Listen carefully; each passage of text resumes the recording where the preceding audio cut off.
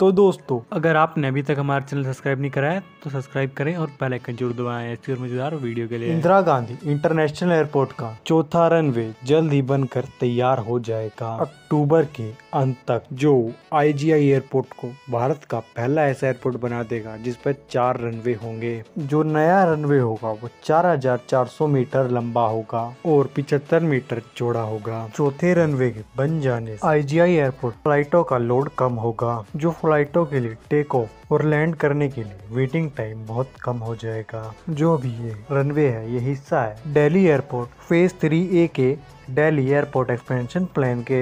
इसकी असली डेडलाइन थी। 2022 के मध्य में डीजीसीए इस एयरपोर्ट का इंस्पेक्शन करेगी। क्रिटिकल इक्विपमेंट जैसे इंस्ट्रूमेंट लैंडिंग सिस्टम इक्वलाइजर और कैट थ्री गियर का इस रनवे के ट्रायल को नवंबर 2021 से शुरू किया जाएगा। इस एयरपोर्ट को अगले साल तक ऑपरेशनल कर दिया जाएगा। इसके बारे में आपको क्या लगता है? कमेंट करके ज़रूर बताएँ। आशा करता हूँ आपको हमारी वीडियो पसंद आई हो। मिलते हैं अगली वीडियो में। Thanks for watching